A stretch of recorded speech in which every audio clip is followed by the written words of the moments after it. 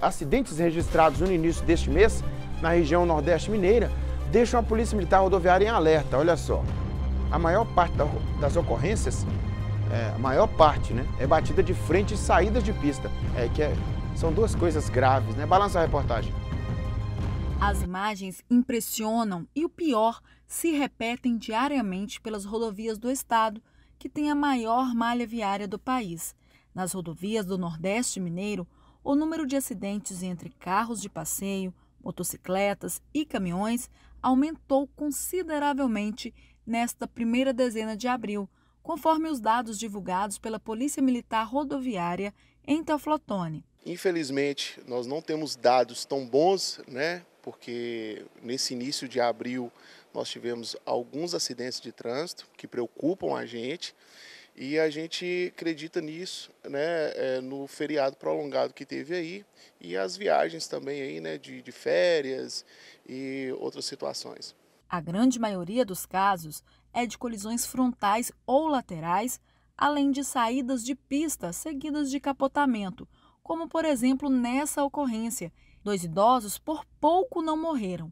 O motorista, de 76 anos, perdeu o controle da direção e o carro que ele dirigia caiu nessa ribanceira de cerca de 20 metros. Ele e a mulher tiveram ferimentos. Apesar da violência dos acidentes, a boa notícia é que nem neste e nem em nenhum dos outros registros da Polícia Militar Rodoviária no período tiveram vítimas fatais. Esse levantamento indica que o maior índice registrado foram na MGC 418, que liga Teoflotone a Nanuque, da MG 409, que fica nas estradas rurais aqui de Teoflotone, na BR 116, que corta o Vale do Jequitinhonha, e na AMG 2815, que compreende as cidades de Franciscópolis e Malacacheta. O sargento destaca a importância de medidas preventivas e reforça a preocupação da polícia com a segurança nas rodovias redobrada no período dos feriados prolongados. Nós, da 15ª CIA PMRV, nós atendemos mais de 60 municípios né, do Vale do Mucuri, do Jequitinhonha, são várias rodovias e a gente tem notado que as nossas rodovias elas são é, sinuosas. Infelizmente nós temos alguns buracos na via, isso contribui e nós temos mais dois fatores que são assim é, causam bastante risco, né, se não forem observados. O primeiro fator é o veículo, né? Alguns condutores não verificam seus veículos, condições dos pneus, é, condições do motor e isso aí pode contribuir para o acidente, né? o veículo em mau estado de conservação. E o segundo fator, que é um fator também super importante, é o, o pessoal, né? o do próprio condutor.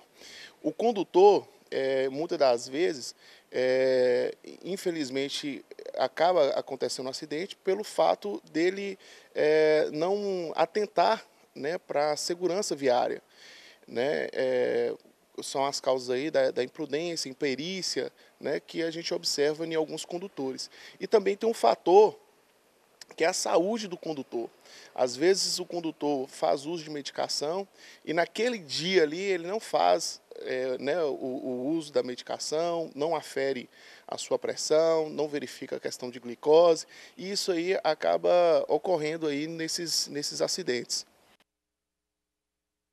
Aí o trânsito é complexo, né? Tem a questão das estradas, tem a questão é, urbana, né? Dentro das próprias cidades e envolvem outros veículos, né?